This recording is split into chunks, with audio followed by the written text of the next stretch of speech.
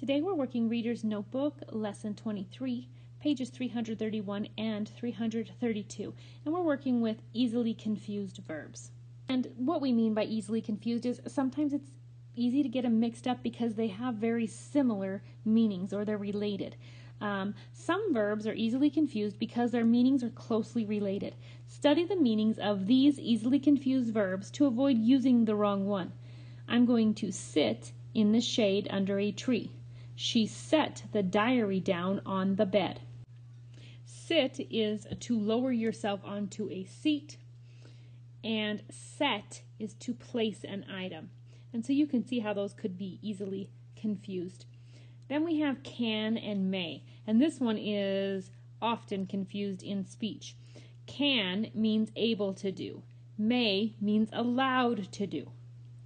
So when somebody says, Can I go to the bathroom? it is incorrect because usually most people are able to go to the bathroom, but they're asking for permission to go to the bathroom to see if they are allowed to. So it should be, May I go to the bathroom? All right, next ones are to teach and to learn. To teach is to give instruction to someone, to learn is to re- receive instruction from someone. And we have lie and lay.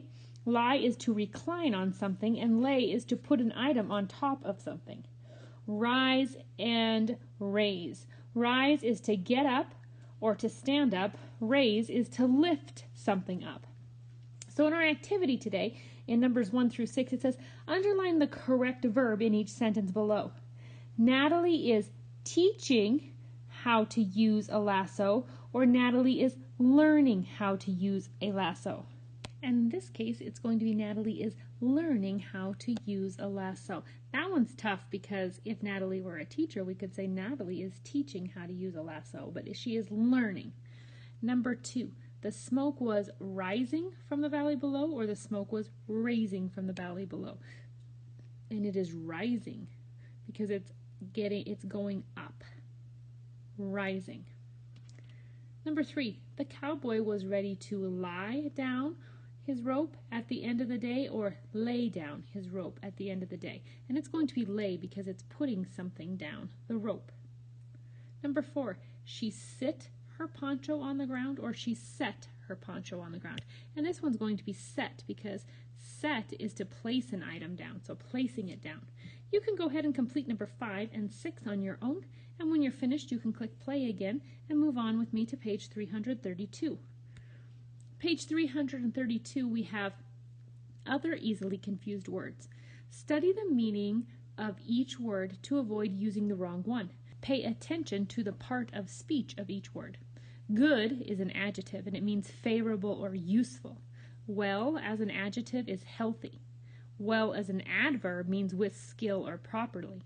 Their is a pronoun which means possessive of they, meaning showing ownership. There, T H E R E, is an adjective that describes location.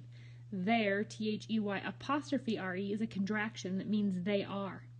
Conditions are good for riding outdoors. The soldier fought well after eating a good meal. It says write the word in parentheses that correctly completes each sentence. Number one, you had to be a good or well horseback rider to be a vaquero. You had to be a good horseback rider to be a vaquero. The word good. Number two, it was difficult to hear good or well because of the howling coyotes. It's not going to be that it was difficult to hear healthy, so it's not going to be well. It's going to be it was difficult to hear good because of the howling coyotes. Number three, he didn't feel good or well after eating his breakfast, and that is healthy, so it's well. He didn't feel well after eating his breakfast. Number four is luckily there, there, or there ranch was not in the path of the wildfire. Well, this is the form of their that shows possession, a possessive noun. And so that's the word their, T H E I R, possessive noun or possessive pronoun. Number five, the ranch was the largest in the area, and many cowboys worked there.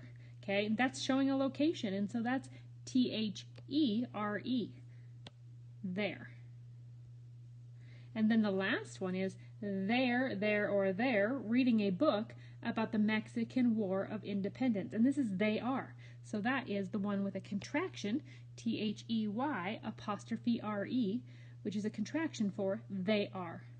All right, kiddos, we've completed 332 together. You had two problems to complete on 331. So once you've finished, make sure you take a picture of your work, attach it to your assignment, and turn it in on Teams. Thank you.